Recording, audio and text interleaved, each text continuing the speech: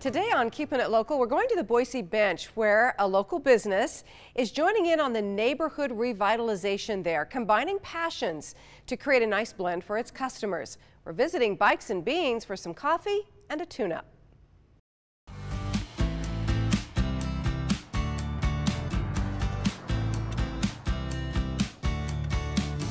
Well, I've been in a lot of coffee shops. I love a good cup of coffee, but never one quite like this. So Andrew Little, this is your brainchild, Bikes and Beans. What is Bikes and Beans? Bikes and Beans is a third wave coffee shop that you can ride your bike into.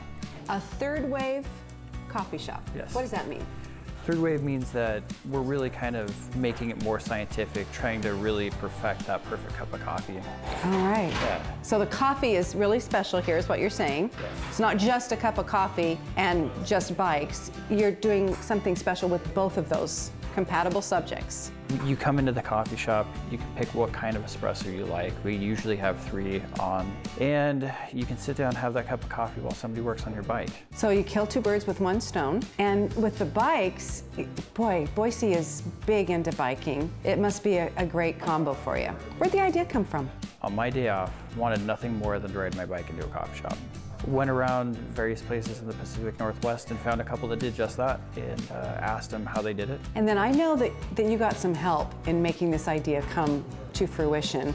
Oh man, I had just an idea really, and uh, there was a wonderful place called uh, SBDC. Small Business Development Center, which we've featured before. Yeah, they're wonderful. Um, they helped me really refine that idea and uh, give me a place to start and kind of point me in the right direction. You know, with I, I don't think that I could be anywhere near I am, where I am right now without their help. Well, where you are right now is on the, the Boise bench, a growing, changing area, really, really coming to life again here on the bench.